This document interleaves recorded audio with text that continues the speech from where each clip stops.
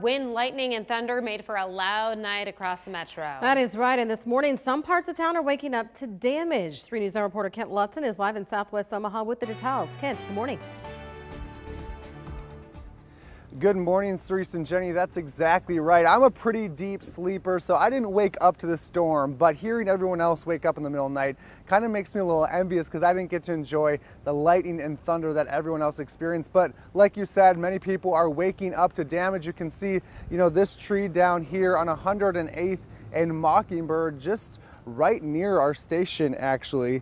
Um, and you know, reports of downed trees or debris in the roadways like this are coming in from all over the metro area. Let's pull up some video now of the Elkhorn area. The heavy rain and wind moved in after midnight and could, um, you know, kind of be seen in all parts of the Omaha area, including Elkhorn. You can see here. There were also reports of trees knocked down and power outages from Midtown to Ak-Sar-Ben Village and westward. Ralston police reported storm debris blocked several roads early and even knocked out power to several traffic lights.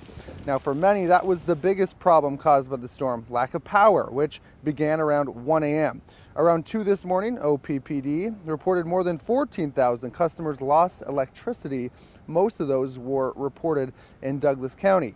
OPPD says crews are working to restore power right now. The utility website shows about 5,600 are still in the dark. Now, this is a good reminder to just kind of be, pay attention as you're on your morning commute. You might wake up to no power, and you also might need to just slow down with some of the debris in the roadway. Again, this wasn't a storm that was as nearly as bad as we saw in July or even just two weeks ago, but again, another Omaha storm this summer. Reporting in Omaha, Kent Lutzen, 3 News Now.